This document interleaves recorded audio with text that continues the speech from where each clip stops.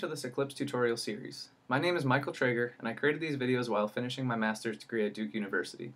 This tutorial series was funded by the Medical Physics Graduate Program at Duke University.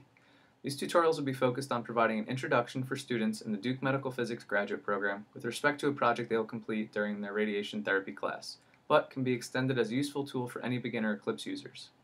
As a disclaimer, these videos are not meant for use as guides for clinical applications, including treatment planning on real patients, rather as a good starting point to familiarize new Eclipse users. I'm not affiliated with Varian Medical Systems or with the ARIA software at this time, and am by no means an expert user. In this video series, I will cover the basics of the Eclipse interface, getting started with a treatment plan, contouring strategies, basic 3D planning, IMRT planning, and how to analyze plans. I'll be working with Eclipse version 13.6 and ARIA version 13.6. Alright, let's get started. This is the sixth video of the Eclipse tutorial series, Analysis. In this video, I will discuss some techniques for analyzing treatment plans, including DVH analysis, hotspots, the plan evaluation functionality, common dosimetric terms, and how to print a report. First, let's discuss DVH analysis with the IMRT plan we created in the last video. DVHs can be useful for checking if critical organ constraints are met, we have acceptable coverage of the PTV, and for calculating various dosimetric statistics. We should be careful, however, because a DVH is only a 2D representation of dose volume information. DVHs give us no information about the spatial distribution of dose and structures, which can be very important. It is important to also look through isodose lines when analyzing a plan. We can access DVHs through the external beam planning functionality, as I discussed in an earlier video. To pull up the DVH, we can right-click on the 3D representation and select Show Dose Volume Histogram View. Can now maximize the screen by double-clicking on the top bar. We now have a blank DVH. To add structures, we go to the Dose Statistics tab, which is currently open, and then we can select boxes on the left side. So let's select the PTV, the bladder, and the rectum. Some DVH options can be seen at the far right side of the toolbar, up here. So we can view all the DVH options.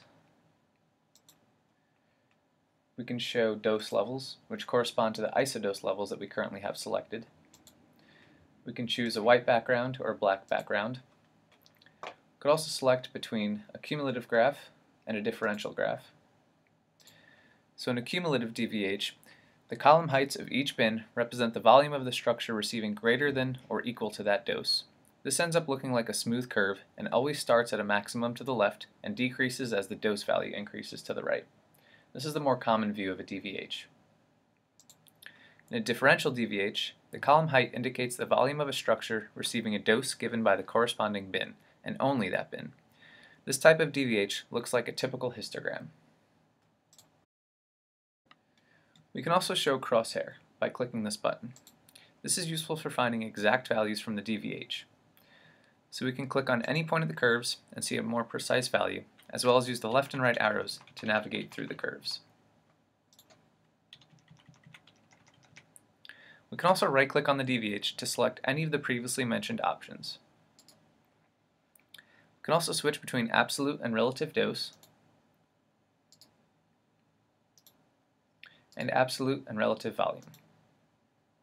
So let's leave it on relative volume and absolute dose for now. Also, as I've mentioned in a previous video, we can come down here and click one of these drop-down bars. We can then select Add Expression to use logical expressions to create new structures. For example, we can do PTV, subtract the bladder,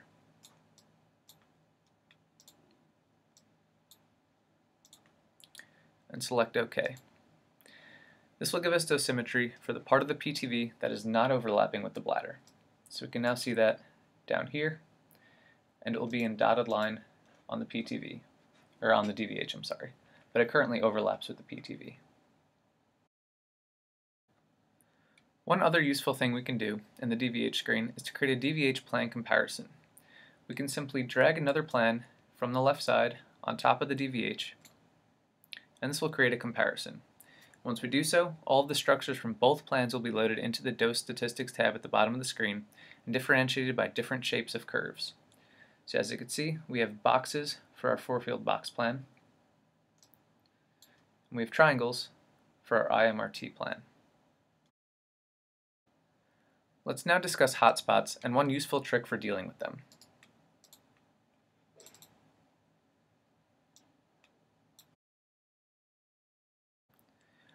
A hotspot is an area receiving more than 100% of the prescription dose. We typically want to limit hotspots to less than 20% of the target volume because they can lead to complications. Hotspots can cause serious damage if they are in serial organs since they are very sensitive to small areas of high dose. One useful trick to help get rid of hotspots is called fluence painting. This can only be done on an IMRT plan since we have modulation of our beam. Fluence painting allows us to slightly modify the fluence at certain locations without drastically changing the dose distribution.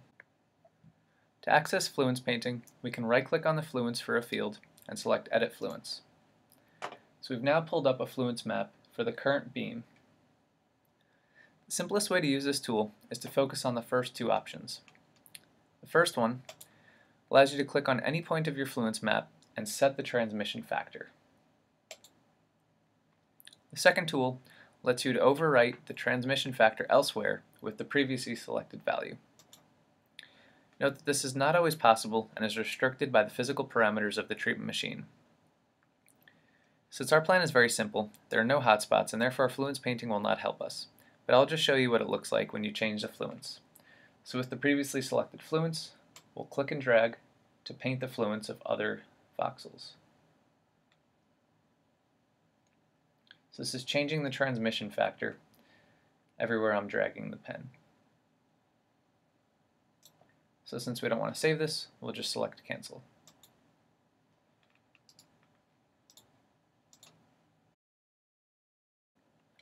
Next, let's discuss the plan evaluation functionality.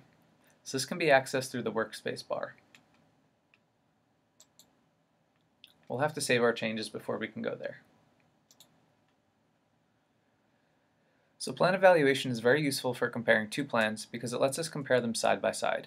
The plan I was just working on automatically gets placed on the left-hand side, and now we can drag another plan to the right. So let's compare our IMRT plan with the 3D plan we previously created.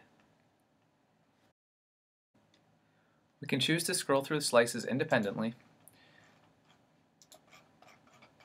or we can press this lock button. This allows us to lock each plan into the same slice. This is very useful because now we'll be on the same viewing slice for each of the plans. And We can also zoom into one plan, and we'll zoom into the other plan automatically.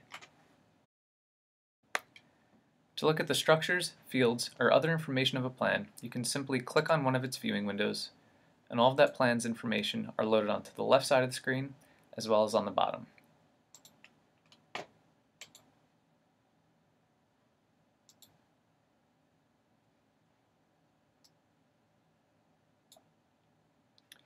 Another useful thing we can do here is to pull up a DVH. To do so, we can select Evaluation from the top and click Show Dose Volume Histogram View.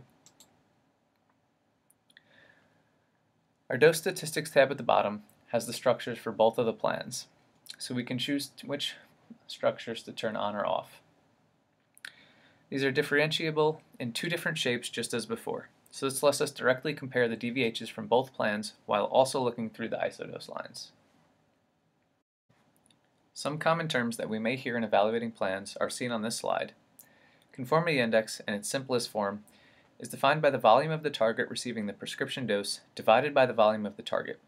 This metric gives us information about how well the target is covered. A value of 1 corresponds to perfect coverage. If this value is greater than 1, the prescription dose is covering a larger volume than the target and is likely leaking out into healthy tissue.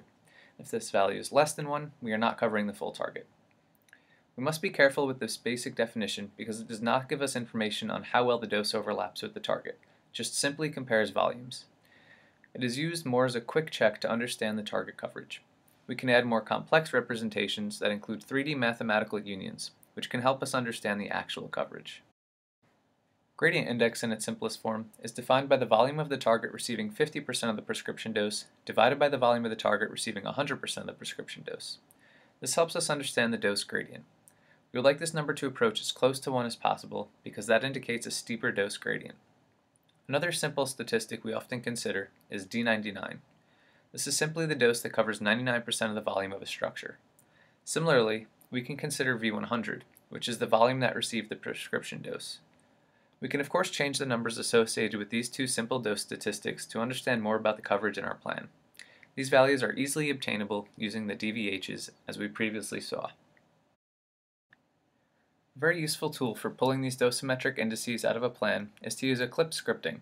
Eclipse scripting allows us to automate various calculations and tasks by accessing all information about a plan.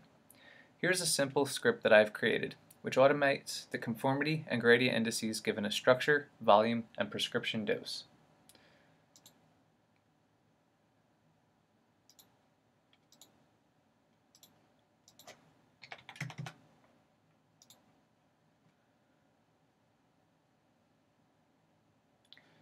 So as you can see here, our conformity index is 0.95, gradient index is 1.053.